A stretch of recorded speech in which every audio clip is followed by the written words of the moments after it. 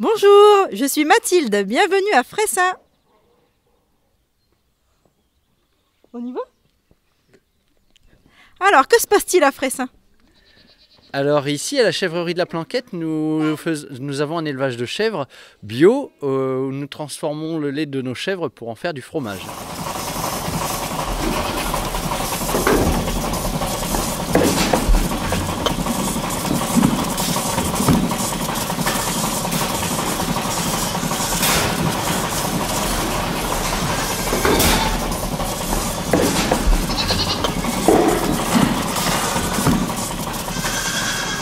Alors, de combien de chèvres est constitué le troupeau à la chèvrerie de la Planquette? Donc euh, à la chèvrerie, il y a 35 chèvres pour le moment et l'objectif final est de 36 et 2 boucs. Et après, les chevrettes de renouvellement, donc 6 chèvres par an. Et il y a des couleurs différentes au sein du troupeau? Oui, donc il y a deux races, euh, deux races euh, vraiment dominantes. Les alpines, donc les marrons, et après on a les blanches, donc euh, les sanènes. On fait un croisement euh, donc alpine sanène pour avoir euh, des chèvres un peu plus robustes, un peu, plus rustiques, car comme elles vont dehors la plupart de, l'année, eh ben, au moins on a des chèvres beaucoup plus résistantes aux conditions météo et on a également une meilleure qualité de lait. C'est un moment particulier en ce moment à la chèvrerie Que s'y passe-t-il? Donc en ce moment la chèvrerie c'est la période des mises-bas. Donc euh, les chèvres euh, euh, portent leurs petits pendant 5 mois. C'est un animal qui est saisonné. Donc la période des saillies commence à partir du mois d'octobre. Pendant 3 mois, elles produisent encore du lait. Elles continuent à produire du lait tout en diminuant jusqu'à la fin d'année. Et janvier, février, on ne produit plus du tout de lait. On leur laisse le temps de se reposer pour qu'elles nous fassent des beaux petits, comme tortilles ici. Et euh, donc euh, à partir de début mars, on a nos premiers chevreaux. Et les, certains vont partir euh, donc en famille et on va en garder certaines pour le renouvellement. Ou alors d'autres vont partir dans d'autres élevages.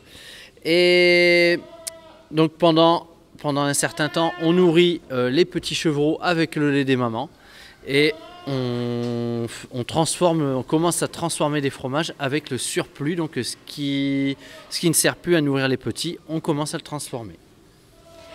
Que fait-on avec le lait des chèvres à la chèvrerie de la Planquette? Donc avec le lait, nous transformons le tout en fromage, euh, fromage blanc, euh, euh, fromage affiné, fromage aromatisé, faisselle et euh, divers produits, toujours à base du lait de nos chèvres. Alors ici, on produit du fromage, c'est difficile?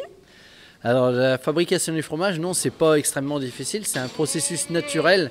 On ne fait que rajouter euh, de la présure et du ferment pour que le, pour que le lait se transforme en fromage. Et après, on laisse simplement faire le, faire le temps, faire les heures. Et euh, après, donc, on travaille en pré-goûté, euh, plutôt qu'en moulage direct. Comme ça, on peut travailler, euh, fabriquer des fromages aromatisés avec une incorporation à l'intérieur. Donc c'est pour ça que c'est très simple de faire du fromage si on laisse faire le temps.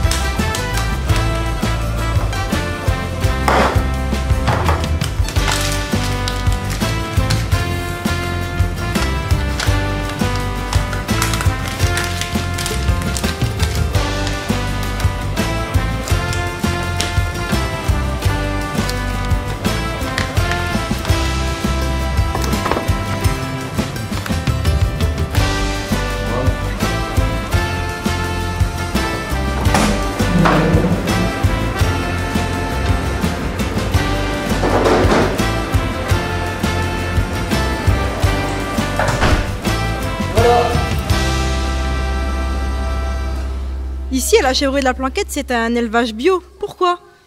Donc euh, c'est un élevage bio parce que bah, on a la facilité pour le faire, on a des pâtures euh, qui, qui sont attenantes euh, au bâtiment, donc on, les laisse pâturer, on les laisse manger ce qu'elles veulent, et comme leur alimentation principale est l'herbe, ben, on ne cherche pas à faire autre chose, à faire de la luzerne par exemple, où on serait obligé de, de traiter pour essayer d'avoir un rendement. Ici on leur laisse pâturer ce qu'elles veulent et euh, sans avoir euh, de difficultés à produire, euh, à produire leur nourriture.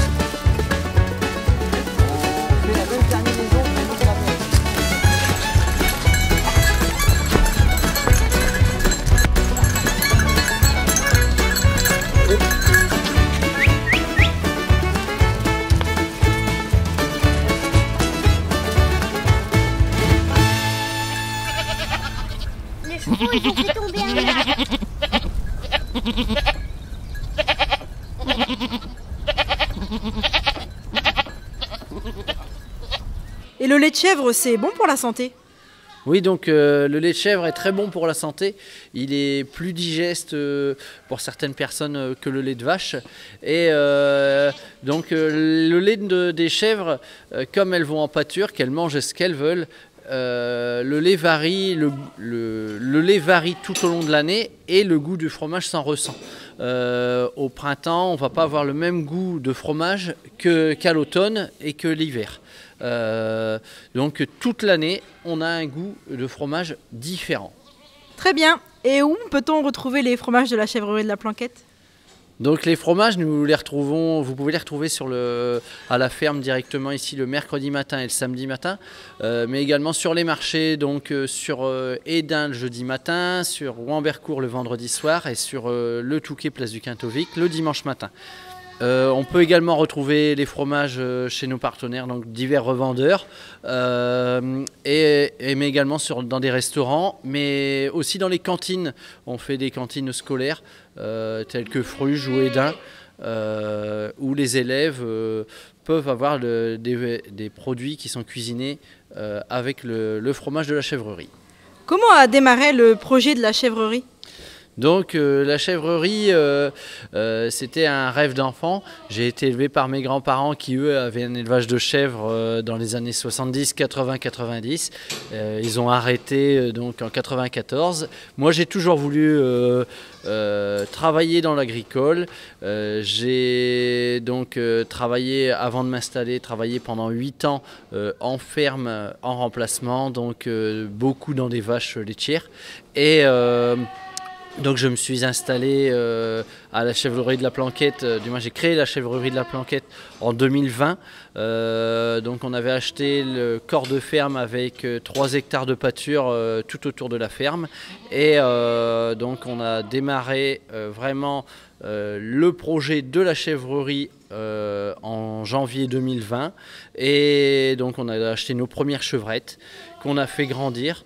Euh, pour euh, un début de production de fromage euh, qui a démarré en, juillet 2021. Et donc depuis juillet 2021, on sort du fromage jusqu'à fin décembre. Et donc janvier-février, on n'a plus de lait. Et là, on redémarre justement une, une nouvelle année de production de fromage. Et cette passion des chèvres, ça te vient de tes grands-parents, c'est ça? Oui, donc euh, j'ai été élevé vraiment dans, les chèvres depuis tout petit. Hein. je participais à l'élevage avec mon grand-père, j'allais sur les marchés avec ma grand-mère, donc j'ai vraiment baigné dedans depuis tout petit. Et euh, donc c'est ce qui m'a transmis cette passion. Et c'est pour ça que je, ben, on, est ouvert euh, euh, au public pour justement partager cette passion, leur faire comprendre pourquoi les chèvres, pourquoi un élevage de chèvres et pourquoi dans, pourquoi les, les faire pâturer, pourquoi transformer le lait comme ça. Voilà, c'est tout un ensemble et c'est pour ça que je suis, nous sommes ouverts le mercredi matin et le samedi matin. Vraiment, euh, on prend notre temps pour répondre à la moindre question et faire partager cette passion. Et pourquoi les chèvres, pas un autre animal? Alors les chèvres, euh, bah, toujours parce que je suis né dedans vraiment. Et une chèvre, c'est bah, un contact particulier. Euh, c'est pas comme une vache par exemple qui va être un petit peu distante là vraiment. Euh, elles sont elles sont amiteuses. elles vont. on a vraiment un contact, un lien très très affectif avec les chèvres. elles connaissent quasiment tous leurs prénoms. elles ont chacune leur caractère. Euh, c'est très, très intelligent. C'est voilà, même pour faire des bêtises, c'est très intelligent. Mais euh, voilà, c'est ce qui fait le, plaisir de la chèvre. C'est un, un ensemble et c'est très, très agréable. Ça, c'est comment? Très attaché à l'homme. C'est le, lien qui la chèvre a à l'homme, c'est très très particulier. Et euh, du coup, elles nous le rendent bien. On essaye de, les rendre heureuses. Et euh, donc, elles nous le rendent bien avec cette production de lait euh, où elles nous, elles nous font du bon lait pour faire du bon fromage.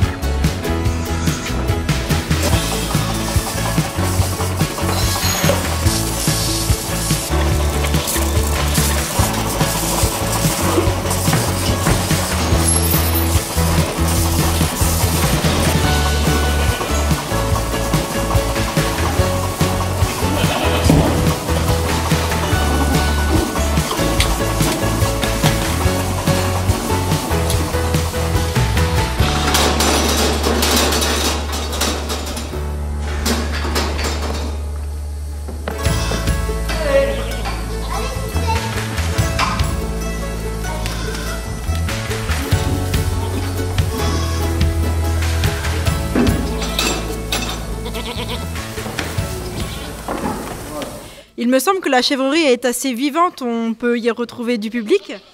Oui, donc euh, la chèvrerie, comme je le disais, est ouverte euh, tous les mercredis matins et samedis matins en visite libre et gratuite.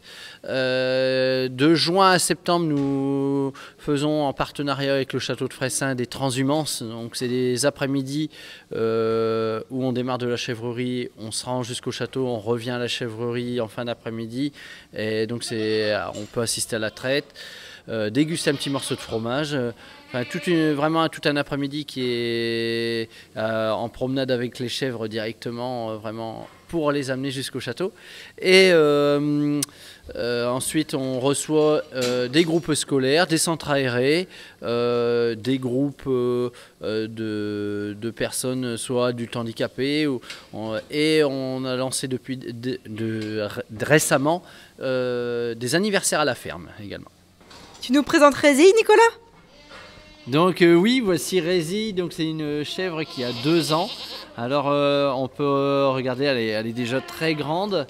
Euh, donc nous gardons les cornes sur nos chèvres tout simplement bah, parce que ça pousse naturellement. Si on voulait les enlever, on serait obligé de, les brûler toutes petites. Mais on leur laisse les cornes parce que je trouve ça beaucoup plus beau. Et bah, ça, ça leur fait un petit moyen de défense à chacune.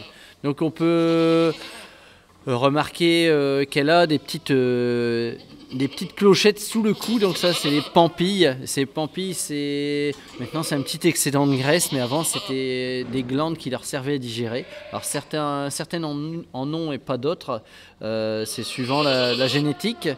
Et après, donc on voit bien euh, euh, qu'ici Résille a une belle forme, une, une belle corpulence et on voit ici son pis, son beau pis, euh, qui est trait donc euh, deux fois par jour, euh, matin et soir. donc une chèvre comme Résille peut produire jusqu'à 5-6 litres de lait par jour. Et comme la vache, il me semble que la chèvre c'est un petit ruminant? Oui, donc euh, comme là on peut le voir, euh, elle ne mange rien euh, directement, mais par contre elle régurgite ce qu'elle a mangé il y a, un petit moment. Donc elle va avaler sa nourriture donc telle qu'elle, quasiment donc soit du foin, soit de l'herbe, des granulés. Et au moment où elle n'a plus rien à manger, elle va le régurgiter. Donc on va le voir, elle va remonter ce qu'on appelle son bol alimentaire pour le remâcher. Et euh, comme ça, voilà, ici on vient de le voir.